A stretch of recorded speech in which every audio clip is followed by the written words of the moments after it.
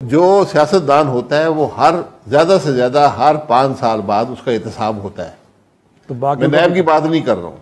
बाकी किसी का एहतसाब नहीं है। क्यों नहीं होता सर? सवाल पूछते हैं लोग नहीं सर। कहाँ से पूछते हैं? मैं पूछ रहा हूँ? बतौर शहरी पूछ रहा हूँ, क्यों नहीं करते सर? आप? पूछते रहे सारा दिन पूछते रहे कोई फ़र्क नहीं पड़ेगा। और नहीं करना ये आपके सामने नैब बना हुआ है ना? तो फिर मैं मैं मैं मिसाल दे देता हूँ। नैब बना है ना बहुत ज़बरदस्त एहतसाब करता है। उसमें जज क्यों शामिल नहीं होते? उनका एहतसाब कौन करेगा? तो उसमें एस्टेब्लिशमेंट नहीं शामिल होती उनका एहतसाब कौन करता है?